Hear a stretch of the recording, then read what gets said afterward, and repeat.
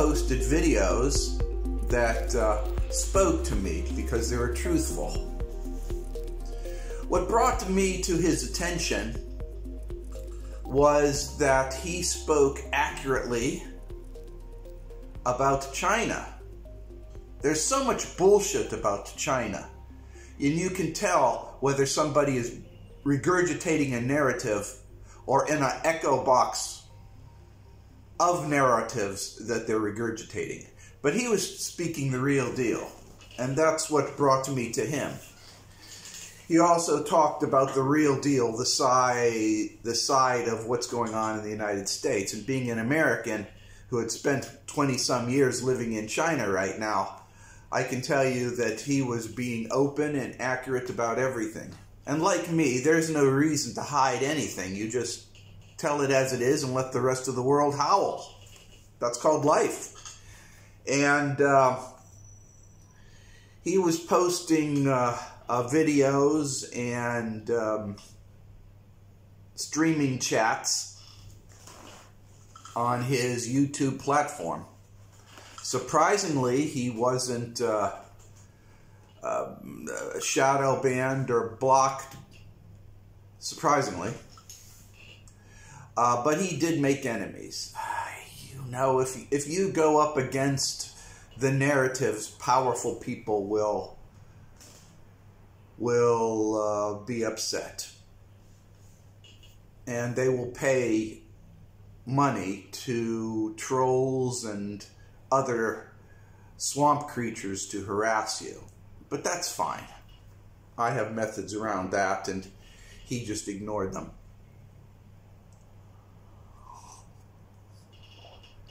What's going on is that he has gone silent. It's been about a week now. He's gone silent. And there's speculation that he's dead. He blames he left a video where he blamed uh, the publication, the Daily Beast, that if he disappears, it's because of them. And uh, since everything that he has said has rung true to me, I see no reason to discount his assessment aside from the fact that he is in a war zone and things happen and knowing the Nazis who are in the Ukraine, um, he could just be killed just because. okay? So we don't know the full story. Won't come out for, for a while yet. But the reason why I want to talk about this is because it's significant. It's a significant event. He's a significant person a lot of what he said rang true to a lot of us on the internet, Americans particularly, who just cannot stand the bullshit that goes through the mainstream media. We just can't stand it. It's no longer even partial truths. It's just out and out fabricated lies. So he spoke truth and it rang to us. Now, I'm sure a lot of Americans didn't want to hear what he had to say about China, but they liked what he had to say about America because it rang true. And that's what happens if you're in an echo chamber. Even though you know you're in an echo chamber, if, if you get real information, real intel, you don't want to hear it. But everything he had to say about China was true. Everything he had to say about Russia was true. Everything he had to say was true. And it rang true to those aware in the United States. Mostly on the conservative side of the aisle. But I like to believe that it cross pollinates throughout the political spectrum. And now he's gone. And it's a significant event. And that's what I want to talk about the significance of his absence. When history books will be written, they will list certain times and events that contribute to this change of social order. One of them will be the financial meltdown in 2007 2008 in the United States. Another one will be the setup of proxy governments in the Ukraine and Taiwan by the Obama administration in 2014. Another one will be the formation of a new nation, national nation, something or other. It doesn't even have a name yet. By Russia and China on the 4th of February 2022, where China and Russia merged as to one country. And another item will be the disappearance of this man. This disappearance has sparked something, has created a degree of upset in the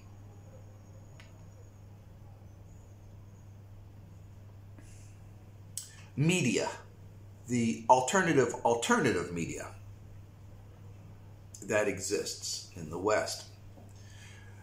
Knowing full well that once the mainstream media was totally taken over by the United States government, the next came was the alternative media, and they sold out eventually, or were corrupted eventually, leaving the alternative alternative media to pick up the pieces. And people moved from the mainstream media to the alternative media, now into the alternative alternative media, the double A media. I'm the triple A media. I'm spawned off from the alternative alternative media because I'm way out there in cosmic land. And I'm watching this. Okay, I'm watching this. And uh, yeah, his disappearance has reverberated throughout the internet blogger sphere, whatever that may mean. And uh, it's significant. It has affected people.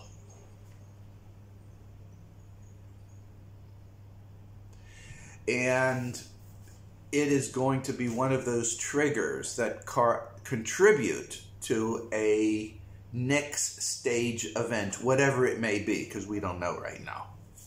Whether it's domestic turmoil, whether it's participation in the Ukraine, whatever it may be, this individual played a role and as soon as he just started climbing up to mainstream popularity. When I mean mainstream, I mean alternative popularity. okay. Uh, he's gone. Disappeared.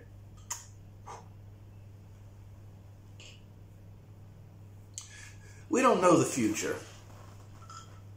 Well, most of us don't. I can tell you what's going to happen.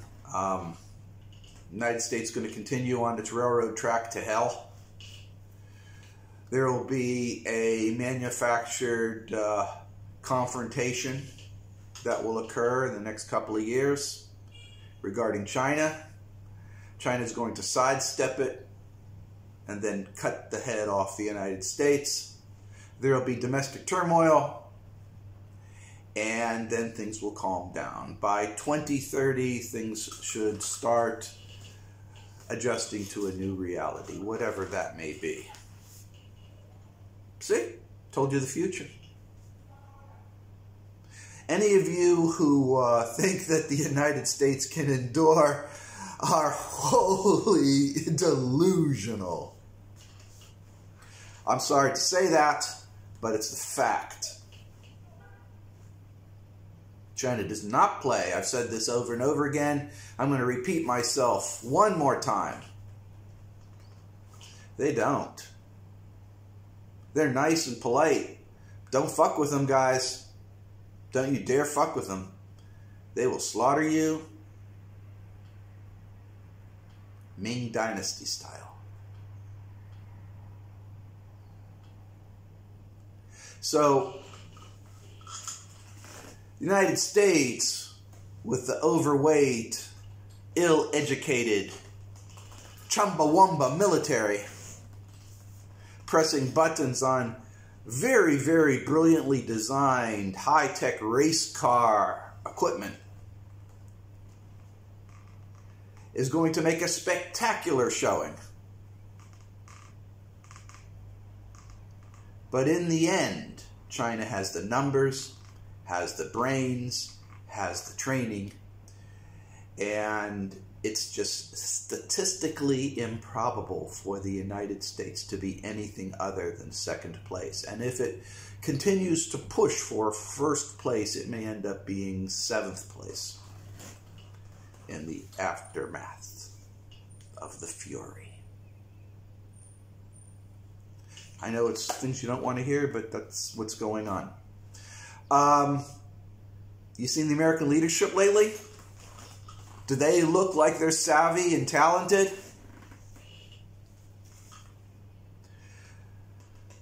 Nations are ruled by people. They're occupied by people. And this con- uh, conglomerate of people is known as a society. Once you have a society that has fallen past the minimum standards of usefulness, it decays and turns to garbage. And that's what we see in the United States. Oh, there's some beautiful buildings in New York City. Oh, there's some great artists and some wonderful talent in Los Angeles. Oh, there's some delicious food over in Chicago and great jazz. There's some really good, nice people in the countryside of America. But the entire foundational structure of the United States is gone. It's destroyed, and the society is in ruins. I'm sorry for telling you this, guys. That's the fact. That's the truth. That's it, Jack. So we got this guy, Gonzalo. I hope I said his name right. I'm really not that good with these Spanish American names. Keep them short. Like my names. Don't even get me started on Indian names. Oh, oh. I just say, hey, you guy. I don't even try to pronounce those names. But anyways, this this this blogger, this video blogger, he's gone. He's missing. He's presumed dead. It's really affected a lot of the people on the alternative alternative media sections, especially conservative. This will affect their thought processes. Not overtly, but subliminally. And that creates a groundswell, a mindset that will color and trigger events down the pipe.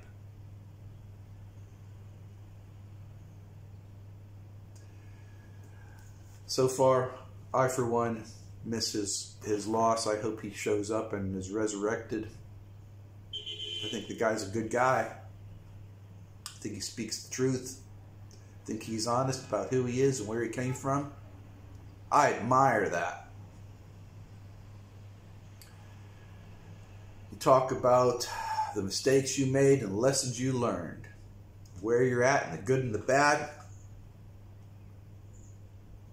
It's a good thing. For whatever it's worth, his short stint on the internet blogger video blogosphere has made an impact on many people and will continue to make an impact whether he is resurrected or not.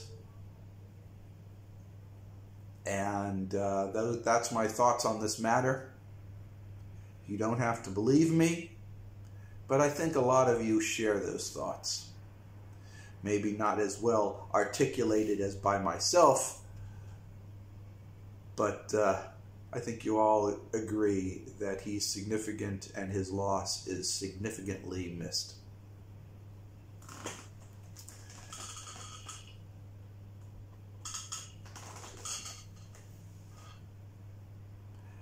And you know, that being said, I'm going to end this little discussion here with my word to the wise for all my followers. Continue being good, be kind, make a difference in the world, participate in society, be part of your community, volunteer, help stray dogs and cats, smile, do more smiling, buy a coffee for your coworker. So refrain from saying a bad thing. Be traditional in household management and domestic. Be a good person. Do the best you can. And remember, I believe